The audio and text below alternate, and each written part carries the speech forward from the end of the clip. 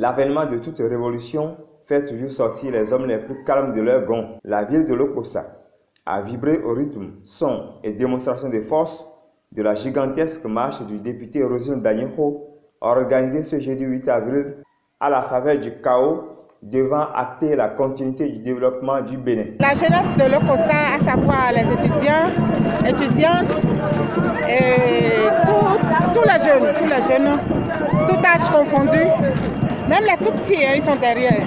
Ils ont voulu exprimer leur gratitude envers notre président par rapport à tout ce qu'il a fait pour l'Okosa. Nul ne veut rester à la maison, tout le monde est sorti pratiquement. Nous avons diminué le nombre de jeunes. On a choisi leurs responsables par section, par section. Néanmoins, il y a une marée humaine derrière moi. Nous prenons tous la paix, la paix dans les cœurs.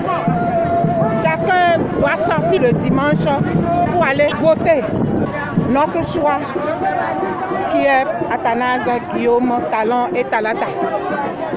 À travers ce choix, le Bénin va se développer davantage. À travers ce choix, toute la 18e circonscription aura de l'eau. Nous aurons des marchés, aurons des stades, l'agriculture va se développer, la pêche, nous aurons le social, nos femmes, nos mamans, nos sœurs, elles vont trouver aussi leur part.